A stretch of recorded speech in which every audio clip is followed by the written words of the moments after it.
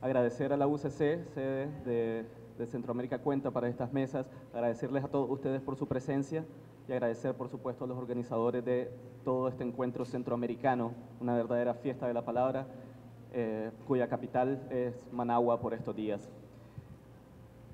La mesa, el conversatorio, se titula Yo te nombro libertad, el papel subversivo de la imaginación literaria. La descripción en el programa, que supongo tienen ustedes, la leo a continuación. La escritura reivindica uno de los aspectos esenciales de la libertad humana, la imaginación, territorio en donde todo sigue siendo posible. Tiene el poder político, económico e ideológico la capacidad de dominar la imaginación literaria. En este conversatorio estaremos acompañados por Juan Pablo Anaya, que nos visita de México. Él trabaja como profesor, es ufólogo por convicción y escribe. Ha publicado ensayos, artículos, entrevistas y reseñas en publicaciones como Casa del Tiempo, Culture Machine y en el blog de Letras Libres, entre otras. Su primer libro, Kant y los extraterrestres, en 2012, obtuvo el Premio Nacional de Ensayo Joven José Vasconcelos. También está con nosotros Eva Cristina Meyer nos acompaña desde Alemania. Ella realizó estudios de literatura e historia del cine en la Universidad Goethe en Frankfurt. Licenciada de la Academia de Arte de Berlín, desde el 97 hace periódicamente estadías laborales en América del Sur. Publica textos, entrevistas sobre arte contemporáneo y literatura en Latinoamérica. Eh, Alfonso Chase no va a poder estar con nosotros en esta mesa, pero nos acompaña María Eugenia Ramos desde Honduras. Ella es escritora, es editora, eh, fue incluida entre los 25 secretos mejor guardados de Latinoamérica según la FIL de Guadalajara eh, y está publicada en las antologías del Fondo de Cultura Económica Puertas Abiertas y Puertos Abiertos, que son, es una antología de poesía y de narrativa. Bueno, la imaginación es la materia prima de la literatura, es el territorio máximo de las posibilidades. Se han gestado no solo historias literarias en la imaginación, sino también las grandes utopías que han dado pauta a procesos sociales e históricos sin precedentes en el mundo, por este afán de querer lograr materializar lo que solo la imaginación puede ver. Es el terreno más vasto y a la vez es el arma más poderosa, y por ser poderosa, su naturaleza misma amenaza el poder político establecido. La imaginación no se limita a lo literario, juega en todos los idiomas del arte. Eva sabrá eh, cuán poderoso es el cine, por ejemplo, en este aspecto. Los formatos cambian y hoy en día, por ejemplo, el poder también se ve amenazado por la capacidad de expresión de los ciudadanos. El poder persigue ahora, como el gran hermano, nuestra privacidad. Aún no logran penetrar en nuestra mente, pero ante estas nuevas formas consideramos, me gustaría que Eva hablara sobre esto, consideramos que hoy en día la imaginación puede seguir siendo una herramienta peligrosa para quienes manejan el poder político.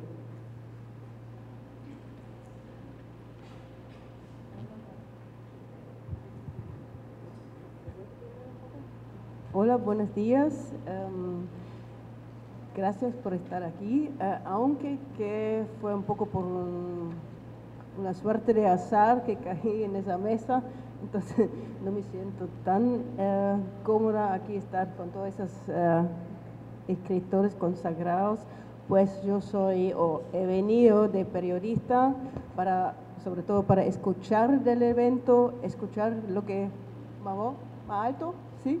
No sé. Um, en primer lugar, he venido a Nicaragua para escuchar y saber lo que están discutiendo y no para hablar um, de la mesa. Bueno, pues voy a aceptar el papel y vamos a ver. Um, entonces, um, el tema de la, de la mesa es, como ya han dicho, libertad, el papel supresivo de la literatura. Lo que a mí personalmente más me interesa es el, el concepto del subversivo eh, qué, puede ofrecer y en qué consiste en el contexto de la literatura. Em, como no soy escritora, hablo de la perspectiva más bien de, la lectora. Y em, voy a empezar con em, ubicar el lugar de la subversión, ¿no? ¿Qué puede ser? y yo creo que tiene mucho que ver con, con, una, con la marginalidad también, ubicarse en, un, en, un, en una afuera de un discurso hegemonial y dominante, no solamente en relación al poder político, pero más bien eh, en relación a una cultura dominante. Para dar un ejemplo, em, lo que en el año pasado me había fascinado mucho fue la novela de Eduardo Alfón, El boxeador polaco, porque em, desde una, bueno, se sabe ¿no? que es guatemalteco, pero tampoco mm, no se define solamente que es guatemalteco porque tiene otro, otras influencias. Y en su novela es capaz de combinar o poner en referencias cosas de primera vista tan distantes como el tatuaje de su abuelo del campo de concentración en su brazo con eh, un encuentro, una, una situación, un, conocimiento de un poeta eh, joven de Guatemala. Y esas cosas que de primera visita parecen eh, nada que ver, eso es una libertad, ¿no? De crear su propia referencia de no hacerse dependiente de un discurso ya instalado, pero tomar toda la libertad de instalar un, una, ¿cómo decirlo? Un, concepto complejo y con muchas capas eh, que ilustra también su, propia identidad, que también es parte em, de, libertad, ¿no? pensar el derecho de vivir una vida individual o insistir en ese derecho. No sé si ha contestado a tu pregunta. ¿Consideras, por ejemplo, que eh, estos medios de control que utiliza el poder establecido como tal, en la actualidad, la imaginación literaria, la creación literaria todavía es una amenaza para, para los políticos, para el orden establecido? puede considerarse la imaginación esta arma poderosa todavía. Lo, para ser sincera, lo que pasó ayer y lo que eso es fuera de mi imaginario. A mí me sorprendió no dejar entrar a Jules, por ejemplo. Pensaba que son mundos paralelos, pero eso es más mi percepción em, del contexto europeo. No sé si alguno de los, de los otros dos panelistas tiene algún comentario con respecto a, esta pregunta, algo que quisieran aportar. Yo, eh, esta idea de que la imaginación está en disputa, bueno, en principio muchas gracias por venir y gracias por todos los estudiantes que se dieron el tiempo de venir a escucharnos hablar. Espero que la charla fluya. Eh, esta idea de que la imaginación tiene que estar neuróticamente en disputa contra el poder, yo creo que la imaginación, y, estoy pensando en una frase de Kafka en la carta al padre, ¿no? La imaginación no es solo elevarse y volar al sol, sino tener la posibilidad de encontrarse un buen rincón donde haga una temperatura agradable, pueda uno estar con los amigos y el sol caliente de una manera en la que no fastidie. Es decir, la imaginación pasa para mí por un trabajo de hacerse de una casa, ¿no? Es decir, un lugar en el que uno habita y está eh, cómodo y donde políticamente puede ejercer todas sus libertades. No me gusta pensar de entrada la imaginación con una confrontación con el poder, sino una imaginación que genera sociabilidad, que genera un espacio habitable de ejercicio de las libertades.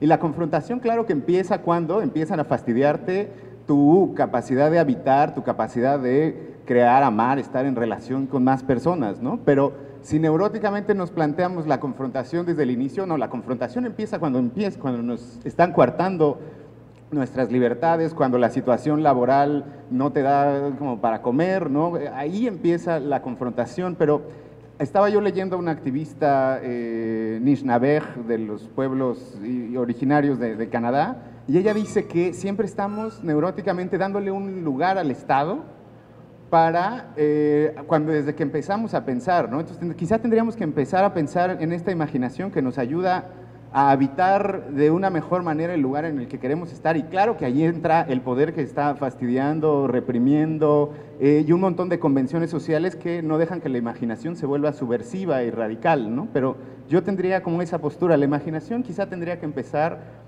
a pensar cómo hacer habitable y experimentable el lugar en el que estamos y de allí establecer la disputa, ¿no? No sé si me explico. Bueno, yo quería preguntarte algo particularmente. Eh, cuando hablamos de imaginación también podemos hablar de lo relativo, ¿no? A veces consideramos verdadero algo que para otro parece completamente imaginario, ¿no?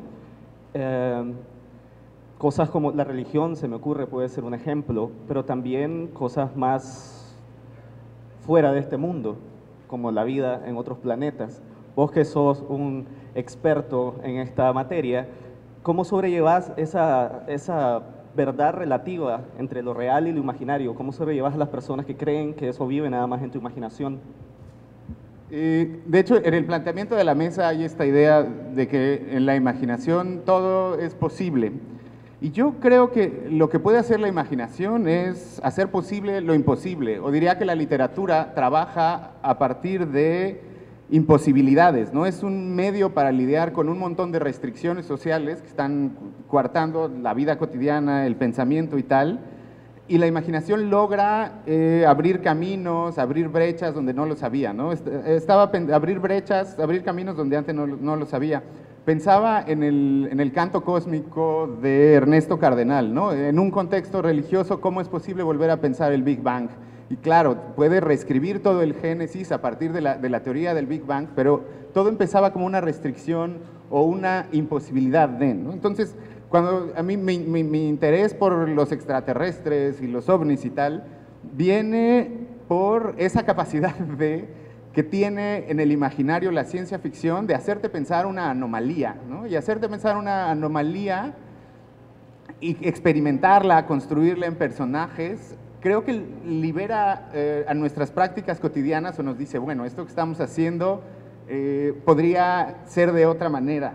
Eh, hay un, un, texto que para mí es como muy ejemplar de esto, que es una novela de J.G. Ballard que se llama Crash, eh, que cuenta la fascinación que tiene un grupo de personas por, lo, por los autos y por los choques y por los accidentes automovilísticos y cómo toda su vida sexual está relacionada a los accidentes automovilísticos al punto en que, eh, no sé, se juntan para masturbarse mientras ven eh, secuencias de choques de autos o hay muchas escenas de sexo adentro de los autos al punto en que la palanca para meter las velocidades termina siendo un dildo, o sea, ese tipo de imaginación subversiva que de repente suena bastante eh, radical, de alguna manera como que aligera la vida cotidiana y da eh, espacios para experimentar más, diría yo, abiertamente con las posibilidades que tenemos, ¿no? Para construirte un territorio habitable donde la creatividad eh, adquiera fuerza y potencia, ¿no? Y claro que vendrá la represión después, pero primero está el trabajo para hacerte un espacio en el que tú empiezas a sentir que creativamente puedes explorar lo, vivo, ¿no? Algo así. Bueno, hemos hablado de esto, ¿no? De que la imaginación casi siempre es una amenaza para el poder establecido. Es una lástima que no esté con nosotros Alfonso, porque eh, Alfonso eh, ha trabajado muchísimo para instituciones culturales en Costa Rica, en su país, y yo quería preguntarle cuál era la importancia para un gobierno en cuanto a fomentar el imaginario de sus ciudadanos. Podemos hablar de eso también, si ustedes gustan, pero también es una suerte de fortuna que María Eugenia esté con nosotros, porque me interesa mucho el tema de Honduras, ¿no? El Honduras es un país que de hecho nos interesa muchísimo en la región por su situación compleja que vive actualmente a nivel político. Entonces yo quería preguntarle qué es lo que está imaginando Honduras, qué ocurre en el imaginario de sus ciudadanos. Muchas gracias. Buenos días, eh, a los muchachos y muchachas que quizá al principio se preguntaban con sorpresa, no, Alfonso Chase no, no se convirtió en mujer. Eh, estoy acá eh, y muchas gracias por la oportunidad porque de verdad para Honduras es muy importante estar en estas mesas Y, bueno, lamentamos que Alfonso Chase no está, pero al mismo tiempo le agradecemos porque nos da la oportunidad de dar a, de compartir y desde la visión un poco de los escritores y de la gente que está creando en Honduras. Eh, bueno, en Honduras, como en casi toda Centroamérica, con excepción quizás de Costa Rica, nos hemos acostumbrado a vivir con miedo. Eh, miedo a perder la vida, miedo a ser afectados en nuestra integridad personal o en nuestras pequeñas posesiones. Tenemos, tenemos miedo a salir a la calle y no volver. Ese miedo lo hemos tenido como población a lo largo de nuestra historia, que ya acá la describieron brillantemente los compañeros, que no es una historia nueva en Centroamérica, es una historia de, eh, plagada de guerras civiles, invasión norteamericana, dictaduras, golpes de Estado, regímenes autoritarios, militarismo, narcotráfico, crimen organizado, maras, femicidios. Las escritoras y escritores, obviamente, somos seres humanos, al igual que los demás creadores, que los pintores, que los teatristas, que los músicos, que los cineastas, los fotógrafos. Somos seres humanos, somos parte de una población, de un territorio. Y en Honduras, la mayoría de los que intentamos crear cosas, eh, somos gente de a pie, así decimos nosotros, no sé si se entiende la expresión gente de a pie, o sea, gente que no tiene mayores recursos económicos, que generalmente nos movilizamos en transporte público. Eh, por eso, eh, y porque por lo general no aceptamos guardar silencio tampoco, se puede decir que vivimos bajo amenaza. Y se podría decir también que estamos acostumbrados a vivir de esa forma y hemos desarrollado estrategias de sobrevivencia. Eso no es lo mejor. No es que eso sea bueno, pero es lo, esa es la realidad. Así es como vivimos. Eh, en Honduras, después del golpe de Estado, paradójicamente, y, aquí es donde entra lo interesante, ¿verdad? Paradójicamente, después del golpe de Estado, hay una diversidad de expresiones culturales de todo tipo. Hay música, hay poesía, hay narrativa, hay pintura, diseño gráfico, fotografía, cine inclusive. Obviamente que de ninguna manera esto viene del apoyo del Estado, todo lo contrario. Eh, viene de, en primer lugar, de la cooperación internacional, hay que decirlo y hay que agradecerlo, que la cooperación internacional cuando es positiva y cuando es una cooperación horizontal es muy favorable para el estímulo de la imaginación creadora. Y en segundo lugar, viene también de iniciativas particulares y del esfuerzo de los propios creadores que están tratando de hacer cosas. Eh, por consiguiente, partiendo de lo que yo vivo a diario como escritora en Honduras, yo diría que si bien la intención de la censura y del miedo es acallar la libre expresión y frenar la imaginación, no lo logran. Eh, es más, eh, y ya saliendo de Honduras y retornando a donde estamos ahora, Nicaragua, Nicaragua ha sido y sigue siendo un gran ejemplo de cómo el talento, cuando existe, desborda más allá de cualquier limitante. De la rabia y del miedo surgen a veces algunas de las obras más deslumbrantes de la imaginación humana. Sin embargo, hay que reconocer que sí se requieren herramientas, espacios de expresión. La imaginación por sí misma no basta. En ese sentido, la censura eh, sí tiene la capacidad de hacer daño, porque la obra creadora no encuentra espacio de expresión, es como si no existiera. No tiene sentido que, los escritores escribamos y que, guardamos, y que guardemos lo que escribimos, no tiene sentido que los pintores creen sus obras y que no haya exposiciones, eh, no tiene sentido igual que, los cineastas tengan un, un buen guion, pero no logren desarrollarlo. Entonces sí, eh, la censura puede hacer mucho daño en, el aspecto no de la imaginación por sí misma, pero sí de los espacios de las herramientas que se necesitan para que llegue más allá de la imaginación a ser un producto concreto.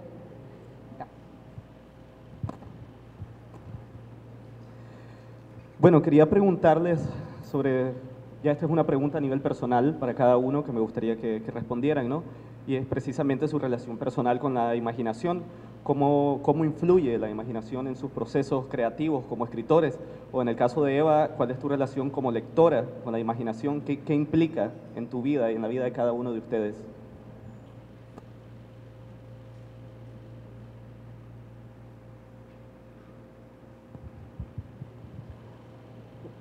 Bueno, la imaginación en primer lugar para mí es uh, un, un, espacio que me da el arte. No importa que sea uh, arte visual o literatura o si no sé, pero es un espacio uh, que me da el derecho de pensar de mi propia forma, de no hacerme parte de un colectivo en primer lugar. Y um, entonces la imagen sí coincide con el concepto de libertad, pero es un acto muy íntimo en primer lugar. Y uh, más allá de, sus relaciones más públicas, más políticas, es algo que primero es entre la lectura y mi persona, hacer mi propia conclusión, por ejemplo, y conclusiones o formas pensar que se contradicen a un discurso hegemonial o dominante, ¿no? Eso me refiere cuando digo la marginalidad es un, puede ser un buen hogar donde uno se encuentra. Está bien, no es necesariamente eh, favorable siempre pertenecer a la mayoría. Uh,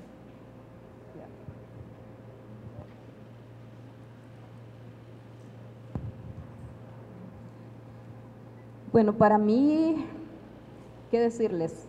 Eh, en lo personal como escritora, eh, ser de un país como el mío y vivir en este medio, que es mi medio, eh, me ha servido de mucho en cuanto a la imaginación.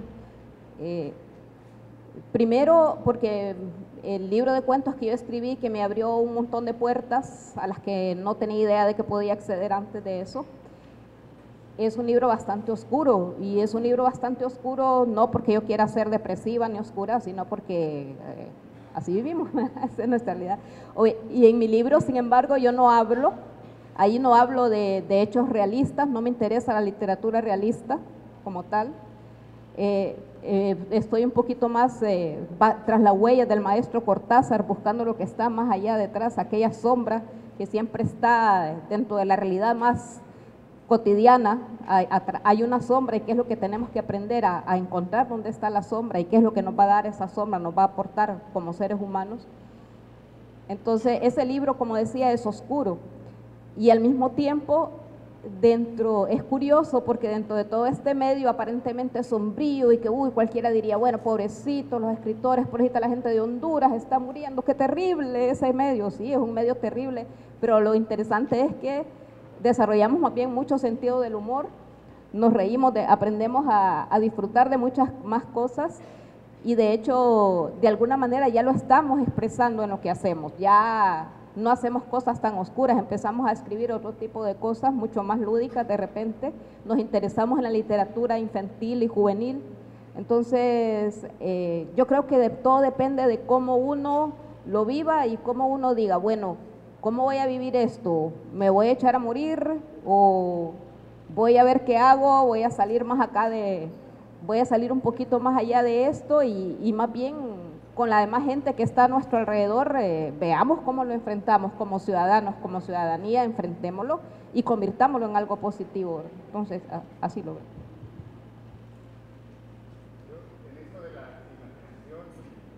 El ejercicio, la importancia que habría tenido en mi, en mi proceso creativo, me gustaría tratar de pensarlo a partir de lo que decía la, compañera de, en lugar de pensar en mi ejercicio individual de la imaginación, en cuáles fueron los espacios que hicieron posible el ejercicio de la, de la imaginación, porque creo que de eso se trataría. Nuestras estrategias de supervivencia pasan por eh, articular estos espacios o mínimamente estos, esta mínima complicidad con una persona más con la que puedes empezar a fabular cosas, ¿no? Y claro, el, ejercicio de mi imaginación, de, la imaginación dentro de mi proceso creativo empezó por la lectura. Y en la lectura es, era como un espacio para encontrar, eh, para intercambiarlo con amigos, para, eh, para encontrar alguna voz o alguna cosa que eh, llamaba mi atención. Entonces, la imaginación empezaría por tratar de construir ese espacio de complicidades donde es posible pensar anomalías, ¿no? Por ejemplo, el, caso de Franz Kafka, ¿no? De, este escritor que parece estar como muy solo y creando mundos muy extraños y tal, y absurdos, pues tenía un buen amigo que era eh, Max Brod, con el que podía charlar todo el tiempo, con el que le decía, esto que estás escribiendo es importante.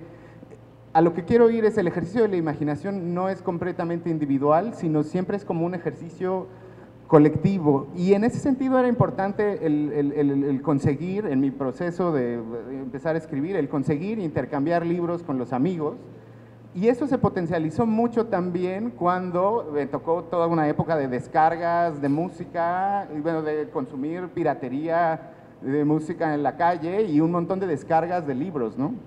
Eh, todo ese como consumo, y no me gusta decirle consumo, ¿no? Todo ese relacionarse con eh, esta, esta, producción colectiva que de alguna manera va abriendo el espacio para el ejercicio de la, de la imaginación, para mí fue muy importante.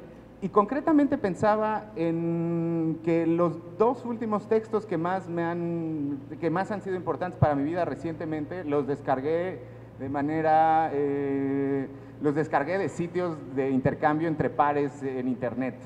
Y a lo que quería ir también retomando la noción de libertad es qué tanto, por ejemplo, en la distribución del libro en línea se han perdido las libertades que tenía alguien que tenía un libro físico de prestárselo a los amigos, de subrayarlo, de heredarlo. Y qué tanto la distribución entre pares, el intercambio de PDFs, los sitios que están diciendo las leyes de copyright están violando todas las o están coartando todas las libertades que tiene el, Internet para el intercambio de libros, ¿qué tanto esos sitios han sido un lugar para el ejercicio, para mí, de la imaginación?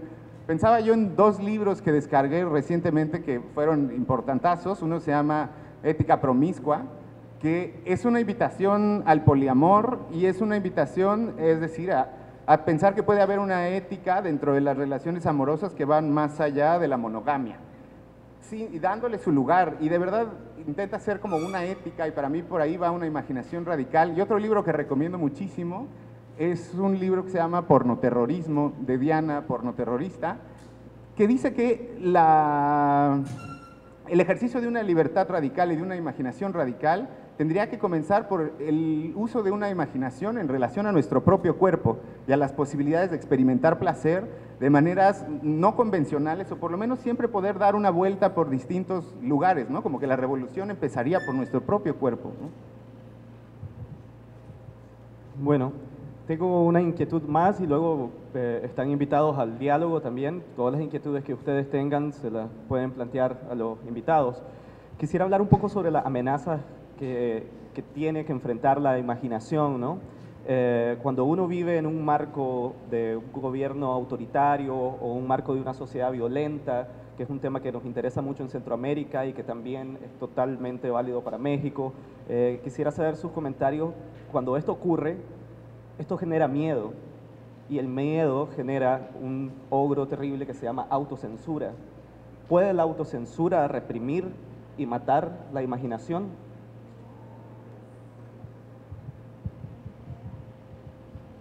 Sí puede, obviamente, aunque por lo menos en el caso particular de Honduras yo veo que, es todo lo contrario.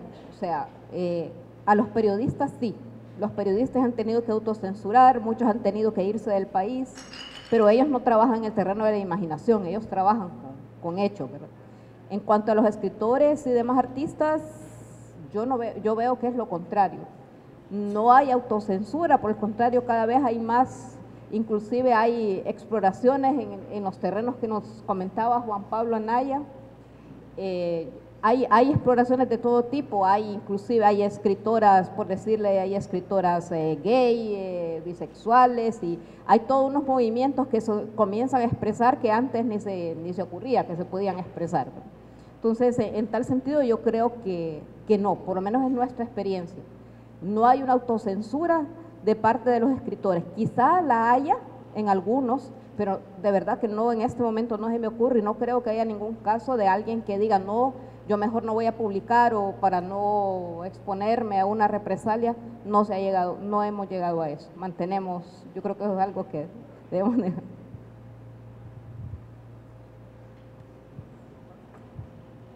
eh, yo creo que este tema de la autocensura da en un asunto clave sobre, las, sobre el, problema del poder, porque Eh, siempre imaginamos al poder como algo que alguien más tiene y ejerce sobre nosotros. Y en contextos tan violentos y represivos, pues claro que así se vive, ¿no? Pero pasa por estrategias como muy minúsculas, como hacer circular dentro del, dentro del ambiente, como si fuera respirable, una especie como de miedo que es impersonal. Es decir, el poder no se ejerce desde arriba, sino que está metido en nuestros cuerpos, ¿no? De alguna manera, en nuestros hábitos más cotidianos, cuando no podemos caminar por una calle y sí podemos caminar por la otra. Entonces es como cuestionando nuestros propios hábitos y tratando de encontrarles un camino de salida, creo, donde como que nos volvemos más conscientes de nuestras propias autocensuras y esto también pasaría por el proceso de la escritura.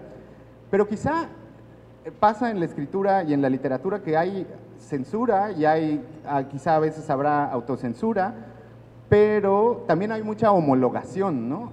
Por ello es como muy importante, creo yo, que los textos cada vez empiecen a circular por distintos medios, que no siempre sean las editoriales establecidas, globales, como Alfaguara, las que nos tengan que decir qué es lo que estamos leyendo, sino que cada vez empiecen a haber distribuciones más locales, distribuciones por internet, y que no tengamos nosotros una jerarquía en la cabeza de qué editorial va a ser la que nos puede dar algo importante a que leer. Hay que retomar prácticas, creo yo, que se han retomado mucho, pero, o sea, hay que, hay que leerlas con la misma importancia con la que leemos un libro que se ganó un premio lo que sea, hay que leer así un fanzine, por ejemplo. Y en términos de pensar la literatura, creo que es bien interesante que tratemos de movernos más allá de esta dicotomía entre la literatura de imaginación y la literatura que, como el periodismo, que tendría un pie en la realidad.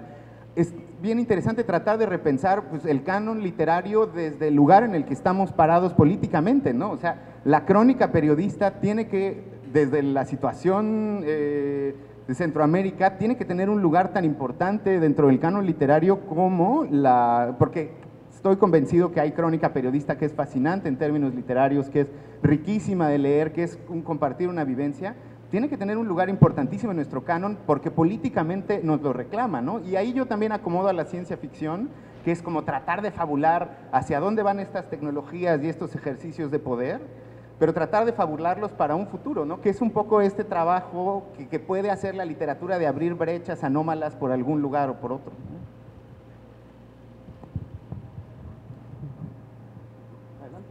Sí, pero quizás eso justamente es la ventaja de la literatura, que no está eh, reducido a hablar de forma definida.